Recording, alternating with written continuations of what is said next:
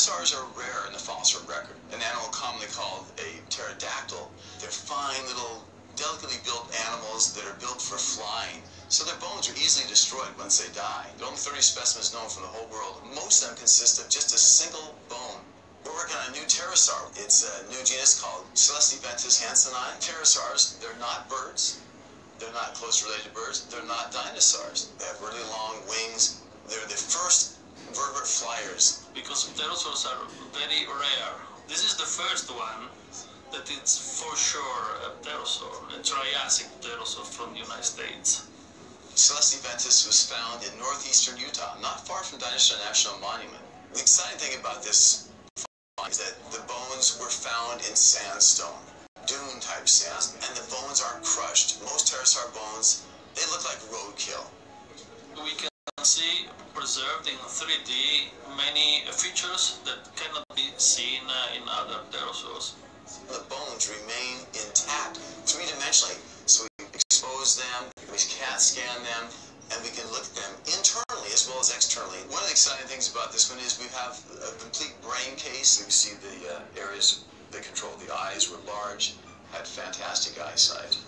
It's the same object. On this side, there's no bone exposed.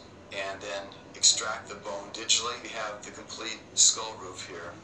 No other Triassic pterosaur has the, the brain uh, preserved. It, it is important for the knowledge of the anatomy of the pterosaurs. This really shows how three-dimensional this is. We see all kinds of details. There's actually a, a ridge right up along the skull.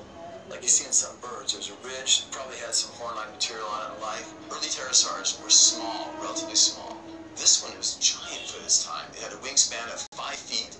It had a skull that was this long. These represent the side of the face. The eye would have been right here, the nostrils out here, and here's the three-dimensional printout of this bone. We can never extract the bone completely from the rock because under its own weight it would collapse. Even these printouts are so thin that they can easily be broken. Being able to CT a bone, extract it from the rock, and then hold it in your hand has revolutionized things. And You can look at it the monitor, rotate it any way you want. You can send it to your colleagues overseas and study it together. So it's really changed. It's been a. Pterosaurs are, are rare worldwide. We had no expectations to find a pterosaur, and there was three-dimensional, preserved right among the bones of these dinosaurs and these crocodilomorphs. So we're really lucky to find this in the midst of this you know, ancient giant desert system.